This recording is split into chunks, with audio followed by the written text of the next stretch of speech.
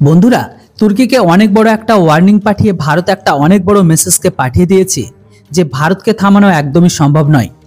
ভারত তার নতুন মিত্রদের সাথে মিলে এমন একটি পদক্ষেপকে ওঠাতে চলেছে, যেটির পরে পুরো তুর্কিতে হাঙ্গামা তৈরি হওয়া একদম নিশ্চিত। কেননা বন্ধুরা, ভারত এখনও পর্যন্ত আর্মেনিয়াকে কিছু অস্ত্র পাঠিয়েছিল। এরই মাঝে তুর্কি আর আজারবাইজান দুজনেই তো প্রচণ্ড রেগে যায়। তো বন্ধুরা, ভারত এখন যেটা করতে যাচ্ছে, সেটির পরে ভারতের সাথে আজারবাইজানের শত্রুতা প্রকাশ্যে বেরিয়ে আসবে। কেননা বন্ধুরা, এখনও পর্যন্ত ভারত আর আর্মেনিয়া শুধুমাত্র কাছে এসেছে। কিন্তু বন্ধুরা, এখনও পর্যন্ত ভারত আর আর্মেনিয়ার মাঝে রণনীতির সাজিদারি তৈরি হয়নি। যেমনটা বন্ধুরা স্বয়ং এখন আর্মেনিয়া ঘোষণা করেছে যে তারা ভারতের সাথে রক্ষার সম্পর্ককে মজবুত করতে চায়। এমনকি আর্মেনিয়াও ভারতের সাথে রক্ষার সহযোগকে রণনীতি স্তরে নিয়ে যেতে চায়।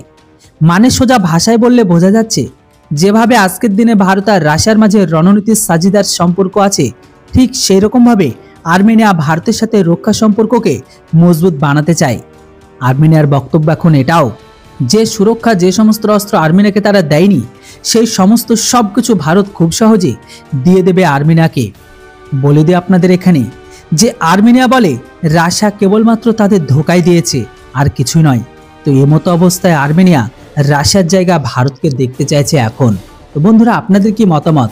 এমতো অবস্থায় ভারতের কি উচিত নয়?